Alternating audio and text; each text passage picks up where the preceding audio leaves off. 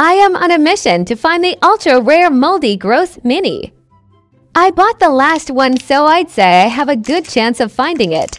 The moldy gods were speaking to me today. Why is it packaged so securely? Maybe it's to stop the spread of mold. Oh my god, I am crying. Why is there really a garbage bag? Let's open the first one. UNC maggots, who even came up with these? This one looks like a band-aid. Please don't be used. I think I see one of the maggots is moving. Is this going to be the moldy one? Spider eggs, what the? Sushi, this one isn't too bad.